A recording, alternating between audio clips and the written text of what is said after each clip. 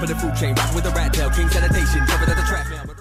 Harassment of blackmail. How you think I made it in the game? It's a rat tail, never made a Yo guys, what's going on? Timpers here, welcome back to another video on the channel. So in today's video, I'm going to be showing you guys some basic tips and tricks. It's just going to be a very basic tutorial on pixel art. This was suggested by you guys, plus I've just really wanted to show you guys just the basics. Um, but I'll be doing very um, like more advanced stuff in the future and then just more specific tutorials on how to do certain things like effects and other stuff. But this tutorial is very basic. I go through a lot of things. Um, so yeah I hope you guys do enjoy this video. If you do hit the like button down below. Subscribe if you are new. Let me know what videos you'd like to see from me next. Also I do stream on Twitch there'll be a link in the description and there'll be um, a link on the screen right now um, I stream daily and I show you guys just I just uh, stream like myself designing so you can learn just by watching me. Also I do giveaways so yeah, I hope you guys enjoyed the video and let's just go get straight into it.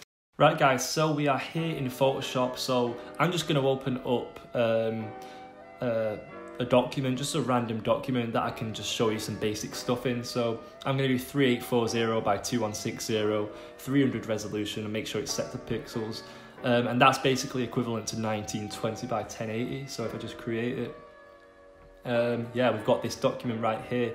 So I'm going to show you guys how to correctly set up your like pixel art canvas. Um, so what you want to do is, obviously this is a really big um, document that we've got open right now. So if I use a pencil tool straight away to draw, it's uh, tiny.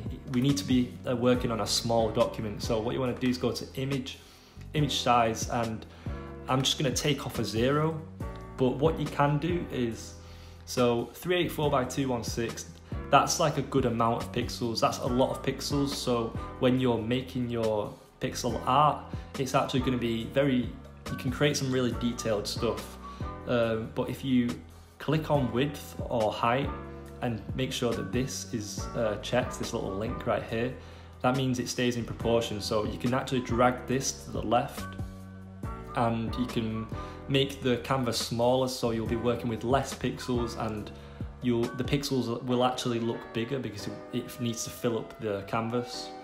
So if I just show you, if I drag this down a lot, it's going to be very small. So I just want to zoom in and the pixels are going to be this sort of size. Whereas if I go to image, image size and bring it up a bit to about 400, which is what I usually work on because I like to make mine quite detailed. Especially if I'm doing like a starting soon screen or um, just anything this sort of size, like a screen sort of size. Um, I like to work on 400 by 225. So if I press OK now and then zoom out a bit, as you can see the pixels are very uh, much smaller but not too small that you can't see what's going on. It's a very good size. Um, but yeah, this is the sort of size that I use when I'm making my sort of work. Um, but one thing that you need to remember, so I've scaled it down now, but when once you've finished your work, um, you need to scale it back up to its original size. So I'd scale it up to 3840 by 2160, which is HD 4K. Um, but Yours will be set to something different. I'm not too sure. It could be bicubic um, sharp, sharper. It could be something like that. But you need to make sure it's set to nearest neighbor hard edges um, so that when you do scale it back up, everything stays in this, all the pixels stay in the same position and you will have a HD image. If it's set to something different, which I will show you guys this after um, to show the different results. Um, but anything different to nearest neighbour hard edges and you'll have a very low quality, blurry image. So it needs to be set to that.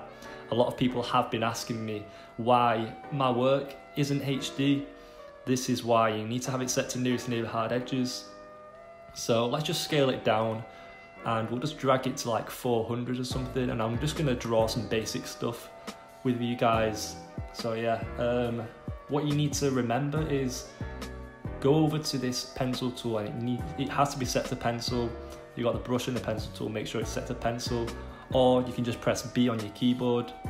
Um, remembering the different keyboard shortcuts is also very useful within um, within pixel art or just Photoshop in general. But yeah, you've got the pencil tool, you've got the eraser tool, but when you click on the eraser tool, um, there's this mode at the top. It will be set to brush, and you want to set it to pencil so that erase it can erase um, individual pixels. So if I just draw a line right now, like so, and it's set to, if it goes to the eraser tool, if it's set to the brush, um, sometimes the brush is good to give nice effects. Um, um, yeah, it can give some nice effects if you erase it. Like say if you're having a shadow, if if it's black, um, it's nice to do that. But a lot of the time it needs to be set to pixels so that you can actually, if you're making a mistake, you can just quickly erase the the pixels that you want to erase. But I can't actually do that right now because I did it on the background layer. but yeah, you guys get the idea. Another thing that I want to show you guys is um, if we just add a new layer this time. Um, say if you're drawing something like a circle, um, like so, you don't want to draw it freehand really, um, because it's just not very accurate. Um, but if you do, I'll show you guys why. So if I say if I draw a straight line, um, it's nice. That that line's actually not too bad to be honest, but um, you do have these jagged ed edges right here, which is not what you want, so I'm just going to erase it. This would be the perfect line. Um, you don't want any jagged edges. Like, look at that. Um, these these like jagged edges, these extra pixels, you don't want them. And to like avoid that, what you want to do is hold down shift when you're drawing things and you get really really smooth lines. So if I just press in one area, if I want to make a, like a circle or something, it's not going to be accurate, but it's going to look a lot better than what it did if I hold down shift because it creates straight lines and you don't get any of the jagged edges. You get a line that, yeah, is just nice. And that works with anything really. It could be you're drawing a house or something hold down shift and you can get some really nice lines and stuff like that. Um, or say if you're doing a hill, um, if you draw it like that, it might not look great, but if you hold down shift, you can get it perfect. So you get like a nice little hill like so. So I'm just going to show you some like basic things when creating pixel art. Um, I'm just, yeah, I've got a new layer. So let's just like create um, um, a hill with a sky and a cloud. Let's just do that really quickly. So what I'm going to do is I'm just going to choose a, a nice blue colour, maybe a bit lighter, something like that. It's kind of nice. And what I'm going to do is just press Alt Backspace to fill in the background. You don't have to go to the pencil tool and draw the whole entire thing. And then I'm to add a new layer and we'll just create some grass so let's just choose like a dark green sort of colour, like so. And I'm gonna make the hill and we're gonna hold down shift whilst we're doing it. So like so, just hold down shift and you get some really nice lines like so and then press G on your keyboard. Um, the paint bucket tool um, I don't know if I said this before, but it's very useful. I find I use it a lot within my pixel art just to fill in shapes and stuff. So you don't have you don't have to press the pencil tool and like fill it all in, but you can do that if you press down Control Alt right click. and then drag to the left or right, you can increase the size of the pencil tool. And you can do that, but it's just so much easier pressing G on the keyboard and filling it in. So the next thing I'm, I'm gonna do is behind the hill. I'm going to add a new layer, go to the pencil tool, and I'm going to choose like a, I'm going to go to like blue and choose like a grey blue sort of colour for the cloud. And then control alt right click and bring it down a bit. And we're just going to create a cloud. Now this is where having a graphics tablet can help. Uh, I'm using my um, laptop tracking pad right now, so it just doesn't look very good. Um, but yeah, if you take your time, if you don't have a tracking tab, if you don't have a, a, graphics tablet, you can create some nice stuff if you take your time. But I'm just going to go really quickly right now because it's a, a tutorial. But yeah, you can create some nice clouds. Um, for this sort of stuff, it doesn't have to be perfect because it's a cloud, so you don't have to hold down shift. But things that need to be perfect, like say a house, um, just normal stuff that you really need to hold down shift. But for clouds, you don't have to hold down shift because they're actually really random. So I filled that in with G. You need to make sure it's connected though. So if I just hide the, hill, I connected it at the bottom, and then you have press G to fill it in. Um, but yeah, I'm gonna just draw another cloud right now. Um, and you can use references off Google and stuff or Pinterest um, if you really want to. But yeah, that's a basic cloud hill and stuff like that. Uh, I'm going to do more in-depth tutorials, like this is really basic stuff on how to use uh, Photoshop for pixel art and there is actually other programs you can use for pixel art but I think Photoshop for me is definitely the best. Um, I'm also going to show you in a second um, where you go to animate your work if you want to animate it. It's um, yeah, you can do it in After Effects, but if you do it in Photoshop, I think it just looks a lot better. Um, and it retains the pixel art style if you do it within uh, Photoshop because it's frame by, frame by frame work. Whereas if you do it in After Effects, it's motion, so it looks a bit different.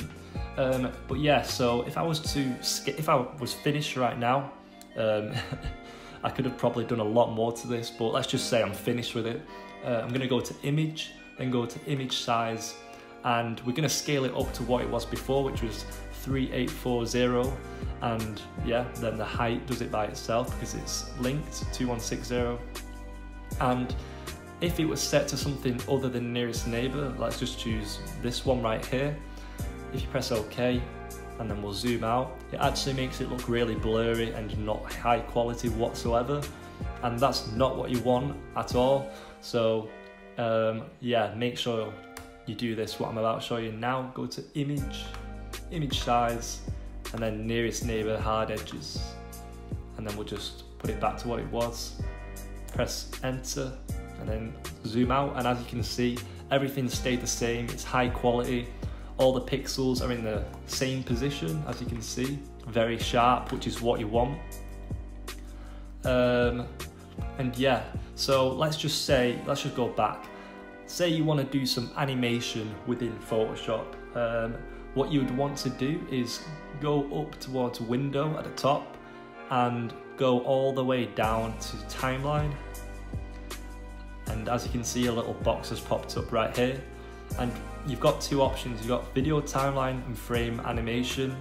Um, what you want to do is do it within frame. That This is what I do it in frame animation. That's what I'm most familiar with. And then you just want to press create frame animation. And then you get this. So that's the first frame. And what you can do is if you add multiple frames, like so, you get these frames on here and you can you can do your art on top of these frames or I usually just delete it, delete these frames.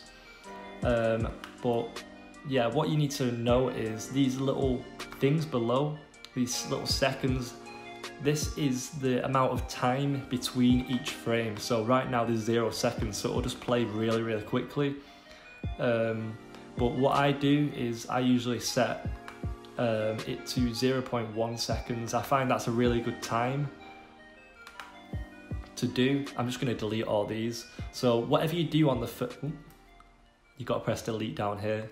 But yeah, you've got like a little play button. You can go back a frame, forward a frame, back to the start. And you've also got onion skinning, which is this one right here. So if I just add a new layer, you can go into onion skinning, which will show um, like a faded version of the um, frame before. And then this is add a new frame. And then this will just, this is like if you want the animation to keep playing over and over, play once or three times, and then you can just choose how many times you want it to play back. And I just play it for forever. So once you play it and it gets to the end of, the end of the animation, it'll replay. So I'm just gonna like add about 10 frames and I'm just gonna delete all these up here. So let's let's, let's think of like an animation. I'm just gonna think of something really, really simple here, and it's gonna be nothing. I'm just gonna draw like a cloud moving back and forth. So I'm gonna go to the first frame and just add a new layer, and we're just gonna draw a cloud, a very basic one, like so. Um, I'll do a more in-depth tutorial on stuff like this, so stay tuned. So yeah, if I just press play now, nothing happens. So what I want to do is just look at how quickly it's going. It's going pretty quickly, so I don't want the animation, I'm just going to make it move back and forth like left and right. I like to use the arrow keys to do this, it's very very handy. So Okay, we need to move that. Um, so I'm just going to go to um, frame 3 and 4 and then 7 and 8 and maybe move it to the right once. So it's just moved right on these frames and then the other frames it stayed in the same position. So if I play it back, first frame and second frame they're in the same position, third and fourth it's moved. So if I press play, it goes back and forth like that. And, they, and then once you get to the end, it'll replay back to the start. So yeah, that's just how to do basic animation. Um, if you practice, you'll get very good at this. I'm still a, um, quite a beginner at stuff like this as well. I'm still very new to pixel art. I've only I've been doing it less than a year, so I'm I'm still very new to it. But yeah, that's the basics of animation. Um, and yeah. Um, I'm trying to think of what else I can teach you. Oh yeah, so if you wanted to save this um, and have the animation running as well, you'd want to go to File, Export, Save for Web. Um, this is after you've scaled it up, by the way. You need to scale it back up. But if you want to save it as an animation, you want to save it as a GIF. If there's no animation, then you can save it as a JPEG or a PNG. Um, and yeah, those are just some big tips you need to remember. If you save it as GIF, you don't really need to mess about with anything else. Just keep it as it is, I think and then the same with the PNG and stuff like that. Um, but yeah, this is a very, very basic tutorial. Uh, I just taught you some very simple stuff that you can, um, that you need to know about, like scaling it up, um, and then just some basic animation work, and just nice, some cool tools that you can use. But I'll definitely go in depth with some more pixel art stuff but yeah, with that all being said, I hope you did enjoy this video. If you did, smash the like button. Can we break 100 likes? That would be crazy. Um, I've got a lot more tutorials on the way and I can't wait. Um, subscribe if you're new. We're getting close to 41k. That's crazy. Um, follow me on Twitter at TimpersHD. There will be a link in the description. Also for my Twitch, that'll be in the description, which I do stream daily on. I'll be streaming um, tonight. Um, and yeah, I just do pixel art and giveaways. So yeah, be sure to come to my Twitch streams, guys. Uh, link in the description. And yeah, I hope you're having a great day, and I'll see you in the next video.